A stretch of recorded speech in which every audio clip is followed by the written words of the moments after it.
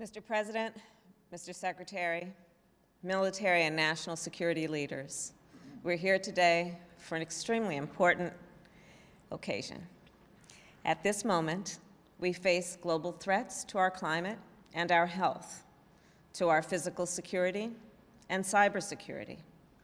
Our capacity to meet this moment is determined both by our diplomatic strength and by our ability to build a strong, smart, and sustainable military force.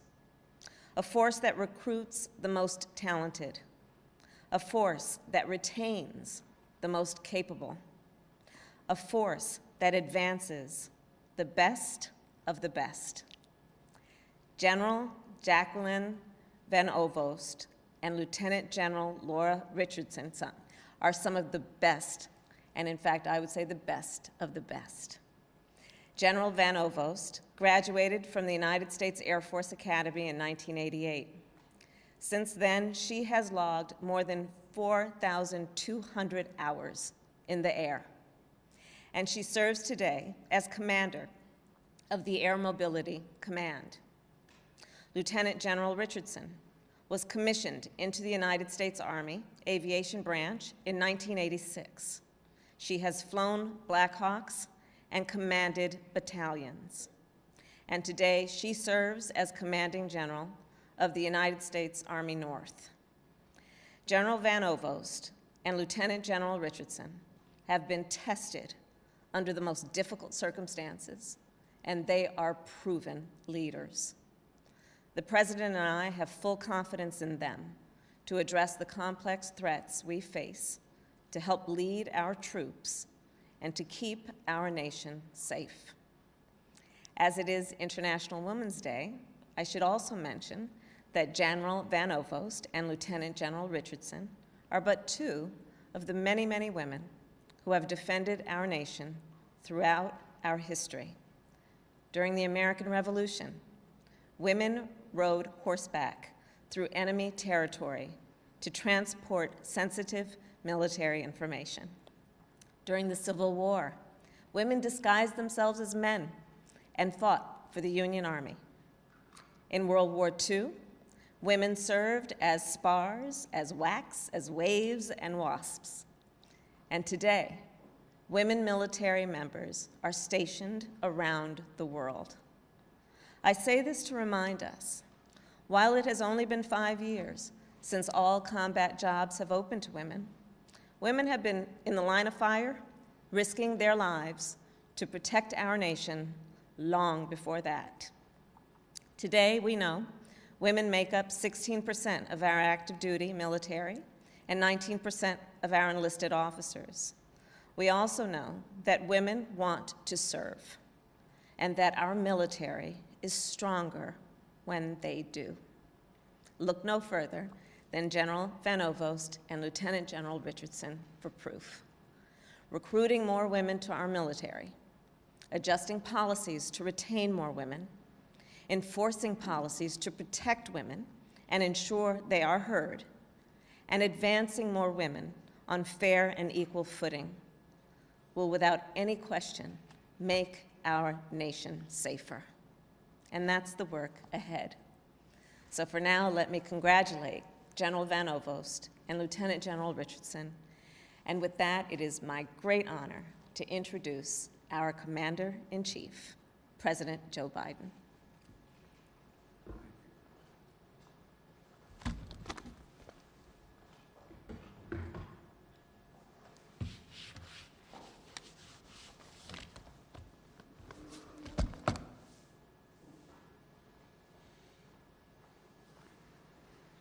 Thank you, Madam Vice President. And thank you, Mr. Secretary. On Friday, I submitted to the Senate for confirmation my first slate of nominations for four-star command positions in our armed forces. Among them, two outstanding and eminently qualified warriors and patriots, General Jacqueline Van Ovost and uh, United States Air Force, is currently the only female four-star officer serving in our military. I nominated her as Commander of United States Transportation Command. And when confirmed, the Lieutenant General Laura Richardson of the United States Army will be promoted to the rank and join General Van Ovorst as the only four-star, as another four-star general. I nominated her as Commander of United States Southern Command. And when confirmed, they will become the second and third women in the history of the United States Armed Forces to lead combatant commands. Each of these women have led careers demonstrating incomparable skill, integrity, and duty to country. And at, and at every step, they've also helped push open the doors of opportunity to women in our military. Blazing the trail a little wider, a little brighter, for all proud women following in their path and looking to their example. And I wanted to shine the light on these accomplishments for those women today because General Van Ovost uh, is uh, reiterated in an interview this last week, and I'm the second person to say this. It's hard to be what you can't see. It's hard to be what you can't see, but you'll soon see. Today is International Women's Day, and we all need to see and to recognize the barrier breaking accomplishments of these women. We need the young women just beginning their careers in the military service to see it and know that no door will be closed to them. We need women and men throughout the ranks to see and celebrate women's accomplishments and leadership in the services. We need little girls and boys, both, who have grown up dreaming of serving for their country to know this is what generals in the United States Armed Forces look like. This is what vice presidents of the United States look like. So I'd like to spend just a few minutes today making sure that America knows who General Van Ovost is and Lieutenant General Richardson is. They're aviators. Both learned to fly planes before they were old enough to drive a car. General Van Ovost, the first generation, is a first generation American, the daughter of Dutch immigrants who owned a flying operation. She loved the freedom of flight, and as a teenager, flew herself to see Sally Ride lift off as the first woman in space. Six, 16 years old, goes down to see Sally Ride. She said she was at several thousand feet watching from a distance. You know, women were, weren't, were banned from flying combat missions when the general joined the force. So she focused on becoming a test pilot. And instead of learning to fly just one plane, she learned to fly everything, including Air Force Two when I was vice president. General Van Ovost currently is uh, Air Mobility Command, approximately 107,000 airmen and 1,100 planes that enable America's air power and humanitarian assistance to go everywhere in the world it need be. From flying water to Texas after the recent storms to ensuring our wounded warriors are evacuated for medical care from anywhere in the world, she gets it done. Lieutenant General Richardson's parents were proud patriots and must have rubbed off because Lieutenant General Richardson and her brother and sister all joined the Army. Her father encouraged her to join ROTC in college, even though that meant commuting to a different school. When Lieutenant General Richardson joined the Army Aviation Branch, women were banned from flying attack helicopters. She flew to, in support of combat, um, combat missions and, uh, and conducting lift operations of her UH-1, the so-called UE, and the Blackhawks. Now, as a commanding general of the United States Army North, Lieutenant General Richardson oversees military ground responses here in North America. All over, all over the last year, that's meant getting military medical personnel deployed to help in our response to this pandemic. More than 4,500 military medical personnel deployed in hospitals across 14 states and the Navajo Nation to treat COVID 19 patients.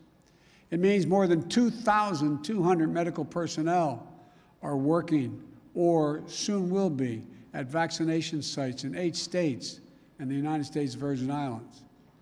I'm so proud of the incredible work Lieutenant General Richardson and her team have done to support the American people this year. And the American people are as well. They're warriors, they're crisis tested commanders. The best of all, the best of all, they're not done yet. Neither of these incredible generals is resting on her laurels or on her stars. They're using their voices and actively working to change policies in the military to make it easier and safer for more women, not just to join the military, but to stay in the military and to thrive. I'm incredibly proud that in 2015, under the Obama Biden administration, we took the final steps to open up all positions in the military to anyone qualified to serve in them. The women who join today's military aren't told no when they apply to fly fighter jets or attack helicopters just because of their gender. They aren't told no when they want to apply to Ranger School or infantry officer basic training. But they all know that there's much, much more work to be done to ensure that women's leadership is recognized, and we have more diverse leaders. We reach the top echelons of command for all who are qualified, including all women, all women, and that all women feel safe and respected in our military, period. You know, some of, some of it's relatively uh, straightforward work, where we're making good progress designing body armor that fits women properly, tailoring combat uniforms for women, creating maternity flight suits, updating, updating requirements for their st- hairstyles. And some of it is going to take an, uh, you know, an, an, an intensity of purpose and mission to really change the culture and habits that cause women to leave the military. That women are making sure more diverse candidates are considering, being considered for career advancing opportunities at every single level. That women aren't penalized in their careers for having children. That women aren't just token members, but integral parts throughout all branches and all divisions and that they can completely, fairly en- engage in promotion, compete all across the board, including on the uh, on age and gender neutrality and physical fitness test. You know that both members of the uh, of the uh, of, of the of the military uh, couples can thrive while serving, like Lieutenant General Richardson and her husband, Lieutenant General Richardson who I might add, I want to thank him for getting me off a mountain that was about 12 to 14,000 feet up on a goat path when our helicopter went down in a snowstorm. It's good to see you, General. The ride down that mountain was more perilous in the truck than it was in the helicopter, but thank you. And we have to take on sexual assault and harassment and violence against women in the military. Sexual assault is abhorrent and wrong at any time. And in our military, so much of unit cohesion is built on trusting your fellow service members to have your back. There's nothing less than a threat to our national security. I know Secretary Austin takes this as seriously as Vice President Harris and I do.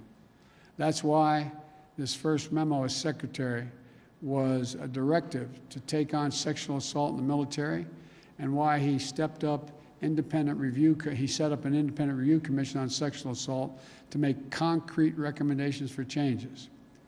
This is going to be an all hands on deck effort under my administration to end the scourge of sexual assault in the military.